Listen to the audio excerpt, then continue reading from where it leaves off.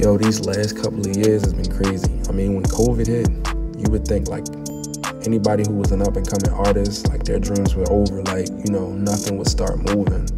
But to be honest, God has really like opened so many doors for DES, which is my zine.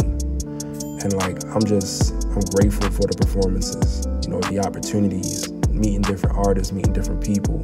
Being a Christian artist is like hard, yo, compared to being a secular artist. It's like people put you in a box.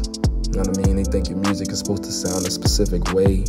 You know what I mean? It's too trap or it's too dark or you know, just whatever. Like, but one thing that I notice is that the Bible talks about God opening doors that no man can shut. And like I'm looking forward to that. Like as we transition into this next year, 2023. And I believe that in 2023, more doors are gonna open for DES.